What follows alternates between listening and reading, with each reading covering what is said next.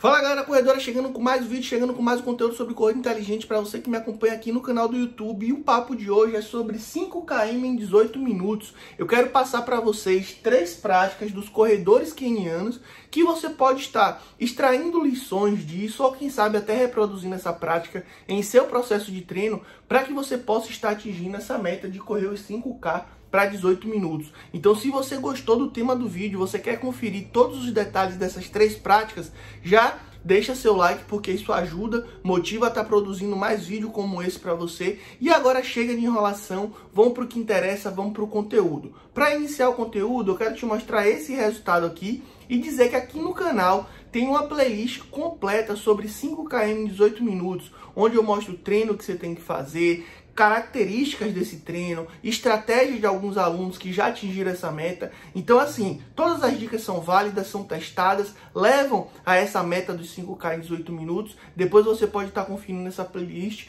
que você vai ter um conteúdo de alto valor, muito rico mesmo. E agora, vamos para o que interessa. Primeira prática dos corredores kenianos que você pode estar pegando lição ou aplicando em seu processo de treino para estar atingindo essa meta. Variação de terreno. E o que é que acontece? Eu vejo muitas pessoas aqui onde eu treino, né, aqui onde eu moro, eu moro em Ilhéus, na Bahia, e basicamente eu trabalho, minhas aulas presenciais são na praia. E eu vejo muita gente que deixa de correr às vezes na areia da praia para estar tá correndo no asfalto. Então é cultural. O brasileiro ele gosta de correr no asfalto. Ele tem essa tendência. E o que é que isso gera em seu processo de corrida? Muitas vezes um cansaço excessivo em suas articulações, né, principalmente joelho, tornozelo, quadril. E esse estresse, quando você junta com os treinos específicos de velocidade que vão proporcionar você atingir essa meta, isso daí acaba dando uma equação um pouco negativa, já que muitas pessoas também não fortalecem o corpo, não ligam para os exercícios de mobilidade, não tem um padrão tão eficiente de correr. Então aqui, só para resumir esse tópico, Sempre que possível, faça uma variação de terreno, fez um treino de tiro, depois ali você tem 20 minutos de desaquecimento, tira o tênis um pouquinho, vai numa grama no parque e corre, né, na grama ali descalço, para você fazer aquele desaquecimento, aquele volta calma, num terreno diferente. Tanto isso vai trabalhar ali a sua consciência corporal no ato de correr, como também vai diminuir esse impacto durante a corrida que você estaria fazendo se tivesse que você estaria é, suscetível se estivesse treinando ali no asfalto, entendeu? Se você mora na praia, mesmo esquema. Fez o ritmado, os dois últimos quilômetros são leves, tenta fazer na areia da praia, né? Numa areia mais bacana. Ah, Rafael, mas correr na areia fofa da praia não vai intensificar o treino? Isso não está mais voltado para velocidade, para resistência, desculpe, não velocidade? Sim, só que eu estou pedindo para você aqui, uma vez na semana, né, ou duas vezes na semana, pegar um quilômetro, pegar 20 minutos, 15 minutos e fazer esse tipo de variação de terreno. Então, assim, é bem comum a gente encontrar na internet aqueles vídeos dos corredores kenianos, eles em fila ali, né, correndo na estradinha de chão, na estradinha de terra batida. Então, é muito comum eles é, fazerem né, essa variação de terreno, procurar fazer esse rodízio, melhor dizendo, né, de terreno dentro do processo de treino. Como eu já falei, isso alivia um pouco a tensão gerada pela corrida em suas articulações e é muito benéfico. Segunda prática, correr leve. E aqui é um ponto muito importante. Recentemente eu fiz um vídeo correr leve para correr mais rápido. Entenda que para você correr 5 km em 18 minutos, você vai ter que seguir quatro dinâmicas: treino de tiro, treino ritmado, treino de potência e o treino longo com intensidade, focando no seu pace alvo, né, na distância de 5k. Então são treinos intensos.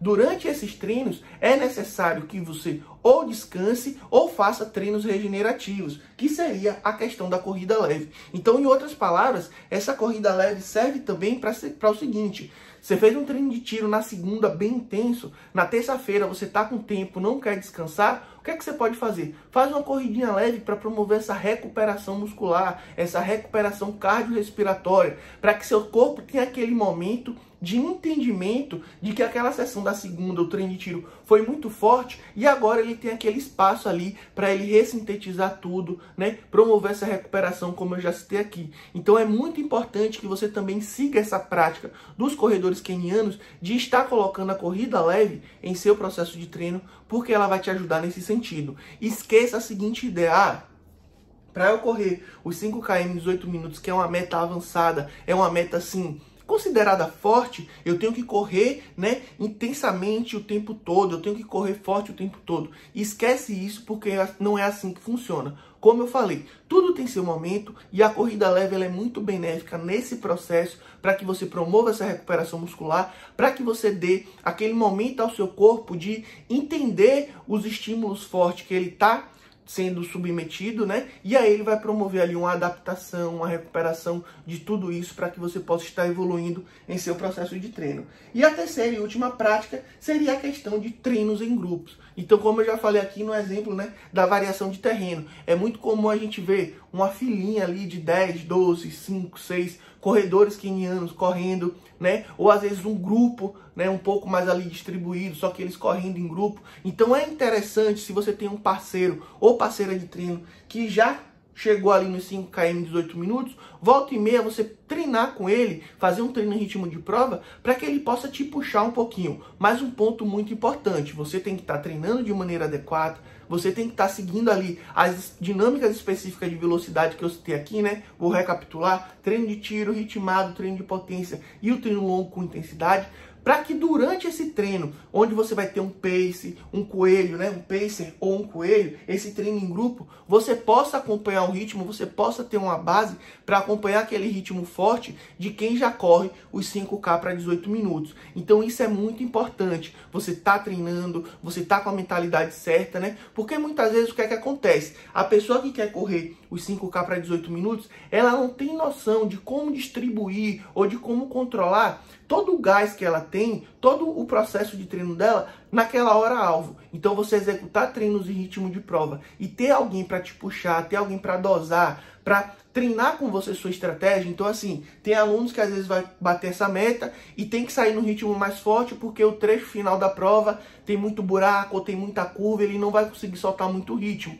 Então, isso é uma estratégia. Já tem outros que a prova é tranquila com relação a percurso, curva, tipo de terreno, então ele pode entrar num ritmo mais confortável, né? Sempre seguindo aquele pace limite ali para você estar tá atingindo 5K em 18 minutos. E quando chega no final, ele tenta soltar um pouco mais. Então você vê que na primeira estratégia, soltava no início, segurava no final. Nessa estratégia diferente, a pessoa vai manter no início para dar o gás ali no final. Então, assim, é importante, interessante que você possa ter alguém, né, ou um grupo que já domine essa meta e você possa estar treinando com eles para que você venha aprender a dosar todo o seu processo de treino, tudo aquilo que você está treinando. Então, espero que você tenha gostado do conteúdo. Essas são as três metas, né? As três práticas, na verdade, que eu queria trazer para vocês. Existem muito mais coisas que nós podemos aprender com os corredores em, em kenianos. Mas assim, eu quis sintetizar esses três pontos porque eles são fáceis e bem práticos de você estar aplicando. E se você ficou interessado em atingir essa meta dos 5km em 18 minutos, eu quero te falar aqui no primeiro comentário, eu vou deixar o link da minha planilha de velocidade. Tem vários alunos que estão atingindo essa meta, né, através dessa planilha que eu estou mostrando aqui. Então você pode chegar no primeiro link e conferir mais resultados e o melhor de tudo, eu te mostro a planilha por dentro, para você entender de fato como é a estratégia de treino para quem precisa correr, né, os 5km em 18 minutos. Então clica lá no primeiro comentário e confere que tá show. Valeu!